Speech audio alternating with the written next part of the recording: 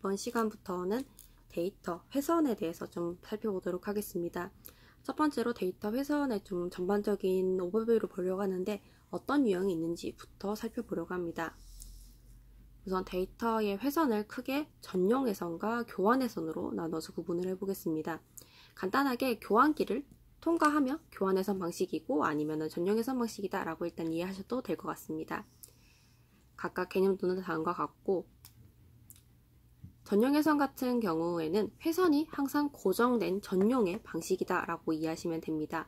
교환 회선 같은 경우에는 교환기에 의해서 연결되는 방식을 말하게 됩니다. 좀 구체적인 연결 방식을 보면 송신 측에서 데이터를 교환기에 보내고 그렇게 되면 교환기가 식별을 통해서 해당 단말기로 수신하는 형태라고 생각하시면 됩니다.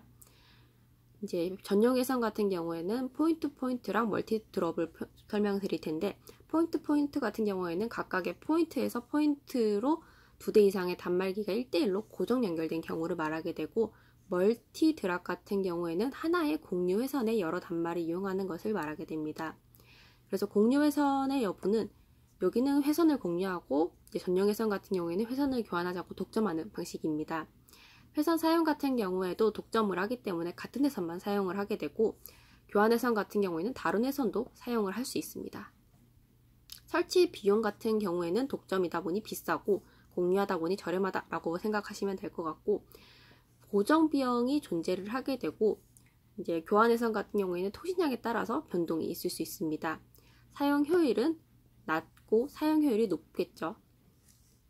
이런 효율 관계를 보시게 되면 통신량이 많으면 많을수록 이렇게 독점된 하나의 고정된 형태의 이런 효율 관계가 좋다고 표현을 할 수 있게 되고 통신량이 적거나 혹은 이제 사용 시간이 적게 되면 뭔가 변동이 많이 일어날 것 같죠. 이런 경우에 유의하다라고 하게 되면 지금 전반적으로 다 일맥상통한 내용들을 설명하고 있다고 보실 수 있습니다.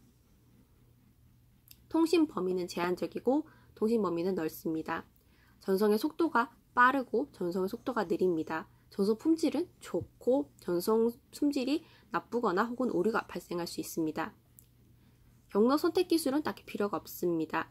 경로 선택의 기술이 필요합니다. 보안성이 강하고 보안에 취약해서 누설이나 파괴의 방지 조치가 추가적으로 필요합니다.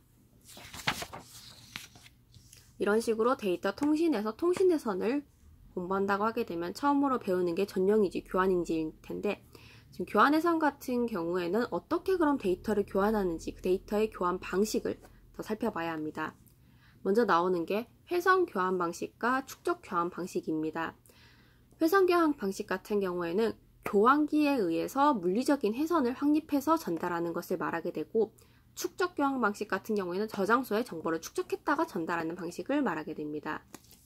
이런 교환 방식의 성능을 비교하기 위한 지표를 크게 이제 시간에 관련된 게 3개 그리고 비율에 관련된 걸 하나로 꼽을 수 있겠는데 전송 시간에 관련해서는 출발지에서 도착지까지 걸리는 시간을 전송의 지연 시간 같은 경우에는 교환기에서 다음 교환기로 가는데 걸리는 이런 전파의 지연 시간을 노드 지연 같은 경우에는 교환에 필요한 시간을 말하게 됩니다. 데이터 처리율 같은 경우에는 정해진 시간 동안에 데이터를 처리할 수 있는 비율을 말하게 되고 이러한 지표들을 가지고서 이런 교환 기술의 성능을 비교하게 됩니다. 다음 시간부터는 좀 더 이런 방식들을 세부적으로 알아보도록 하겠습니다. 수고하셨습니다.